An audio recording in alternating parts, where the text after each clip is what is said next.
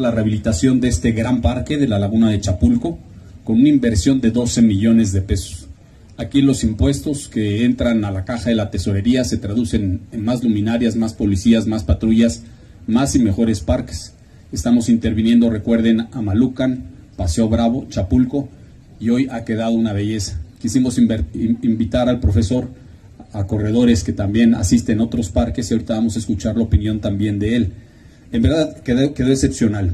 Hay que decir también que colocamos una compuerta para regular los niveles de agua de la laguna, que se instaló la bomba centrífuga, que se rehabilitó el edificio administrativo, que es el que está allá, ¿sí? y además del edificio administrativo habrá un edificio de usos múltiples, en donde las vecinas, vecinos, familiares que quieran venir de cualquier parte de la ciudad de Puebla podrán rentarlo, podrán organizar ahí algún convivio.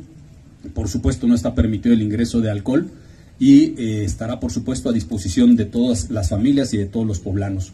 Hablando aquí de mascotas, ¿cómo se llama? Bea. Bea. Habrá un lugar especial también para las mascotas al fondo del parque, ahí se podrán soltar. Estará estrictamente prohibido y ahí Miriam te encargo junto con los vecinos y vecinas aquí de San Jorge, que agradezco también mucho su presencia. No pueden ingresar aquí a este parque con sus mascotas si no tienen tampoco ninguna correa para que puedan nuevamente transitar.